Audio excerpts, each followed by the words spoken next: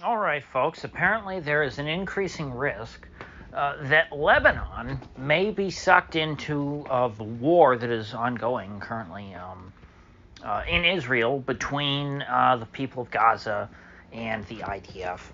Now, I considered taking a break from talking about war in the Middle East today um, because I'm sure that most of the subscribers to this channel are getting tired of it. Um, you know, it's not like I'm getting a, a ton of hits on these anyway. Uh, and I did I, personally like I want to have a fun break. I want to talk about something fun. Uh, you know, whether it's uh, you know the failures of uh, Brie Larson and Bob Iger, uh, or just the uh, the clown show that is the U.S. Congress, uh, where this week the big stories are are not you know what Congress is actually doing as far as their job is concerned. It was a couple of fist fights or potential fist fights uh, between, or involving uh, both uh, people in the House and people in the Senate. And to be clear, this wasn't one fight. These are two separate stories about fights breaking out uh, in the U.S. Congress. But I'm not going to talk about those because really they don't matter at all. That's, I mean, that kind of is the story. Uh, as far as those fights in Congress go, is that wow, this is the most, this is like actually the most compelling news to come out of Congress in years because Congress is worthless um, frankly, you know, uh, Emperor Palpatine should have dissolved the Senate a long time ago. It serves no purpose. We know that every U.S. president pretty much rules by decree anyway. So, moving on to the Middle East, um, there is a quote that I'm seeing bandied about quite a bit uh, from the Israeli uh, defense minister. I think his name is like Gallons or something, like G A L L A N Z. And uh, the quote is what we did in Gaza, we can do in Beirut. And what that is is a warning uh, to uh, Lebanon, essentially, to keep Hezbollah on a leash. Uh, the Israelis are saying clearly, you can see we can do a lot of damage when we want to, uh, as uh, you know, as is evident by the state of Gaza City, uh, which has pretty much ceased to exist. It is a pile of rubble. And the Israelis, if they wanted to, could destroy Beirut as well. And this is a sensitive time considering that Beirut had already been destroyed once uh, and has taken a long time to rebuild. So I'm sure that's something that the people of Lebanon uh, are not in a rush to see happen again. But as we saw uh, during the Lebanese Civil War when Israel involved themselves, uh, people do not take kindly to uh, Israel bombing their country. Even if ostensibly uh, the Israelis were trying to uh, um, help certain sides of the Lebanese civil war, uh, you know, they were essentially picking sides and trying to fight, you know, parts of, uh, you know, certain factions and help other factions. The end result was that pretty much everyone in Lebanon agreed uh, that they did not want the IDF meddling in their country. They did not like the IDF bombing their country, uh, no matter what side they were on. It was like the one thing that could uh, liber- that could unify uh, uh, p- supporters of the different factions of the Lebanese civil war across Lebanese society. People generally agreed, yeah, we don't want Israel here. And it's also fair to point out, and I don't want to make this a, uh, like a thesis on the Lebanese civil war, uh, that was not my intention. I did not do nearly. I, I did not do a ton of research. Actually, I, well, I, I did no research on the Lebanese Civil War before making this video. That wasn't my intention. I was just trying to introduce a little bit of context. Um, but I feel like it's uh, worth pointing out the Syrians also uh, were heavily involved in the Lebanese Civil War, and I think still had troops present in Lebanon up until like 2006, around there and I think Israel pulled out their last troops in like maybe 2000 or 2002. Now, Lebanon is a fractured country, to say the least, uh, and the most, I guess, uh, anti-Israel faction in the country is definitely Hezbollah, uh, which uh, controls southern Lebanon. Hezbollah is essentially its own state. The uh, Hezbollah's mm, sort of armed militia wing, from what I understand, more powerful and competent and I think more numerous in terms of actual troops than the official Lebanese military. And uh, from from what I understand, um, a lot of their support originally grew from uh, resistance to Israeli involvement during the Lebanese Civil War. I believe that's that was sort of Hezbollah's origin story. And so ever since then, they uh, within Lebanese politics, their main thing, you know, despite the fact that they, or, or no, I shouldn't say despite, um, related to the fact that they are geographically the closest to Israel, the area where they're the most popular is along the border with Israel. They are the Israel hawks within that society, if that makes sense. They're the ones who are the most itching for a fight with Israel. And they have their own military. So Beirut, in other words, uh, doesn't control what Hezbollah does. If Hezbollah decides to uh, start a war with Israel, and they've been having lots of skirmishes with Israel. Hezbollah launching, uh, you know, has been uh, sort of shelling Israel, and then Israel will launch some bombs back at Hezbollah in, in, you know, in southern Lebanon, and people are dying on both sides. Although it's not a full-scale war yet, it's kind of like uh, it kind of reminds me of when India and Pakistan, you know, they have their skirmishes uh, every couple of years there's these border skirmishes and they kill a bunch of people on both sides and then they all sort of agree uh, to go back to the status quo. So getting back, coming full circle to the uh, original statement put out by the Israeli defense minister, what we what we did in Gaza we can do in Beirut. Um, is kind of a it's, it's just another well it's the same logic it's collective punishment um, you know there are a lot of people in uh, Gaza.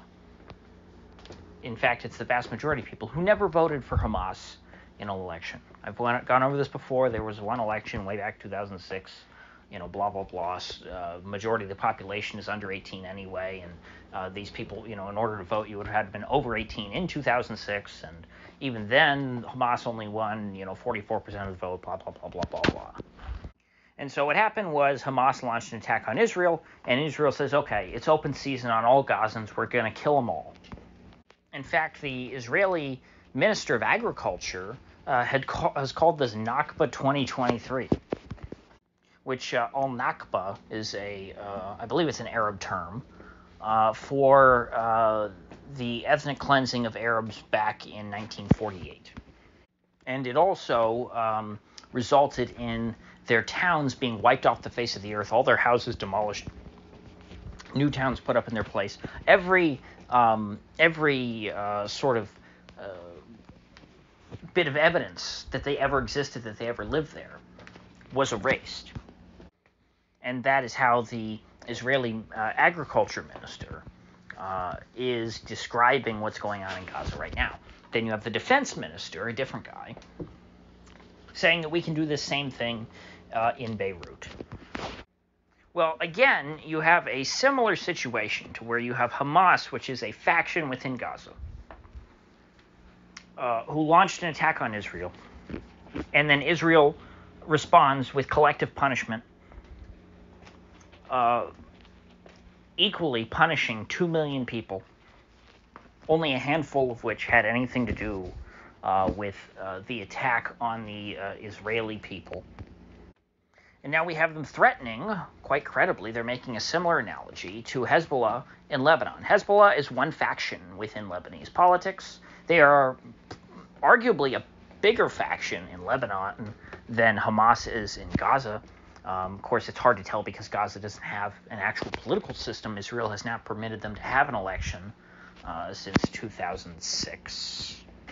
Lebanon does have somewhat regular elections, and uh, Hezbollah has a substantial minority um, population who uh, supports them.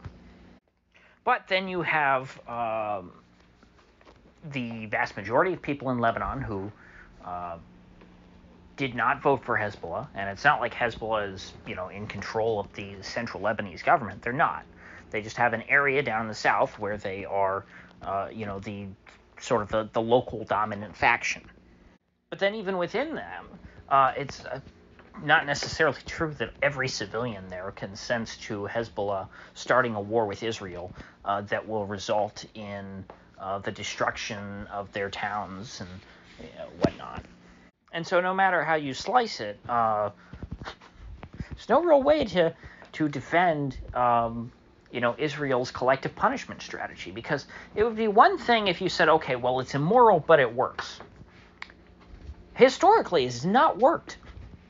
The collective punishment strategy has every time it's been employed by Israel or anyone else, all it does is it creates more people who hate you.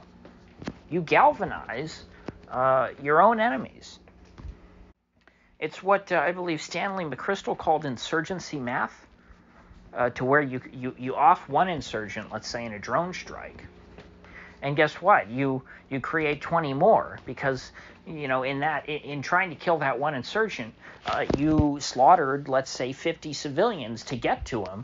Well, those those 50 civilians have brothers and fathers uh, and sons uh, and and nephews and cousins. And those guys who might not have cared about the war beforehand, now that it's affected them, say, you know what? Um, uh, uh death to America or death to Israel. They bring death to, to my village, well, I'll bring death to them. And the cycle of vengeance continues. Israel says, You take 1,400 of our people, we'll take 11,000 and counting of yours, including 4,000 children, allegedly. That's what's happened in Gaza. Beirut, apparently, might be next and actually, if you're specifically talking about Beirut, uh, you know, it's, the, it's, a pretty fairly cosmopolitan city. Um, you know, Hezbollah um, more conservative and austere. Um, I'm not even sure how much support Hezbollah has in Beirut. I would think that Hezbollah probably has less support in Beirut overall than they do the country at large. I don't know that. I'm just guessing at this point. Uh, I didn't again. I did not deeply research, uh, you know, the most recent Lebanese election maps or anything like that. Uh, but uh, I mean, hell, think about it this way. I mean, one of the um, uh, three major ethno-religious groups uh, in Lebanon are the Maronite Christians, who, if I remember correctly, that's who Israel was trying to help you know, quote unquote, during the Lebanese Civil War. Of course, the Maronites are in a much weaker position now than they were before the Civil War. Um, I, I, don't know if that's necessarily um, because of Israel's intervention uh, or not. Um, you know, they might have just very well ended up in the same position anyway because of demographics or whatever else. But surely a lot of them are going to be killed um, if you turn Lebanon or Beirut in particular uh, into Gaza. And as we've seen, plenty of churches have exploded in Gaza, um, crushed under Israeli bombs. And then you have the Sunnis, who also are not affiliated with Hezbollah, because I, I, should have pointed this out. Hezbollah is a um, uh, overtly Shia group. Uh, they model themselves very much after Iran. The, uh, their leader Nasrallah dresses like the Ayatollah. It's kind of cute. And Hezbollah is actually the one group I can think of where, because Israel says that everyone is working for Iran. Everyone is a secret puppet of Iran. Hezbollah is like the one case where that's actually true, uh, because these are just, you know, they are Iran fanboys. Uh, they like Iran, um, and, you know, that's their thing. And so, yes, Hezbollah does work very close with Iran. Uh, but in almost every other case, that is way overblown. And in fact, sometimes this is just a completely made up uh, idea that Israel basically speaks into existence. Uh, good examples like the Houthis. The Houthis uh, were just a local group in Saudi Arabia uh, who, um, you know, had a beef with uh, the Saudi puppet government in their country. Israel decided because they wanted to be friends with Saudi Arabia uh, that they wanted to just tell everyone, oh, the Houthis, they're puppets of Iran because they don't like Saudi Arabia. And, you know, who would ever uh, criticize Saudi Arabia, of all places, except for an Iran puppet? And so the Houthis had like no contact with Iran ever um, until like years into the the Yemen war, after they had been completely cut off from the rest of the world. They started talking to Iran, and they're like, "Well, I guess you guys are, are the only people." Uh, who are willing to speak to us, could you help us out getting some weapons? And Iran's like, ah, sure, what do we have to lose? And so Iran was able to make a new friend because Israel just spoke their alliance into existence. And so now you have Yemen, which is a very weak and destroyed country, but a country nonetheless uh, that is um, uh, that has essentially been gaslit into being Iran's ally by Israel. Uh, same was true uh, to a certain extent uh, for Syria. Uh, Syria is because it was so heavily destroyed and um, degraded by America's uh, regime change war that they launched against Assad. Assad has, you know, is very much indebted to the Iranians as well as the Russians, uh, because without them, without their steadfast support, Assad would be dead today. He wouldn't just be deposed; he would be dead. Uh, he would have been, um, uh, you know, sodomized with a bayonet to death, Gaddafi style. So anyway, currently Lebanon, as far as I can tell, if Israel's really worried about Iran, um, Hezbollah is the big pro-Iran faction, and Hezbollah, again, from what I understand of the historical record, uh, a lot of their rise to prominence was a direct reaction to Israel. Hezbollah became popular because people in southern Lebanon uh, felt threatened by Israel because Israel was occupying that part of the country, and they wanted to support whoever was against Israel. Well, Israel, now you have a, uh, you know, you have Iran's uh, best friend on your border. They don't control the whole country, but you know what? Maybe if you want the entire country of Lebanon to um, hate you with an even stronger passion, uh, with an, you know, as strong a passion as, you know, Hezbollah hates you, uh, and you want all of Lebanon to just uh, unquestionably love the big boogeyman Iran, go ahead and turn Beirut into Gaza. If that's really what you want to achieve, uh, who am I to stand in your way? I literally can't stand in your way. but again, this is an example of just Israel um, acting out of vengeance, but without putting much thought into it what they're doing in Gaza, um, I don't think, unless they find somewhere to dump all of the Gazans and truly get them out of there for good, uh, this is not going to help them in the long run. Um, because it's going to make that population more hostile. And the same is true with Lebanon. Unless they can just completely, what are they going to do if they destroy Lebanon and turn, uh, and, and and just you know, they're just going around kicking hornets' nests. So after you've enraged these people and destroyed their lives in Lebanon, what what are you going to do with them? Where are you going to send them somewhere else? I don't get it. So this is truly self-destructive behavior on Israel's part. Um, just trying to turn everyone they possibly can against them. And you know, it doesn't make me happy to see that. I don't like to see any government um, well, I, I like to see governments self-destruct, but I don't like to see governments self-immolate and take their population down with them. You know, if governments um, commit suicide um, by means of world war, that's that's an awful catastrophe. If governments commit suicide via bankruptcy and they just you know fade into the ether, or they just pretty much shut down one day and never open back up, a la like East Germany.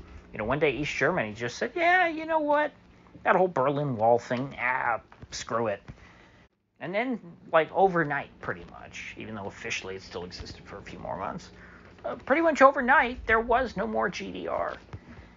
40 years of history gone. So, anyway, with that said, uh, I will see you folks back here tomorrow.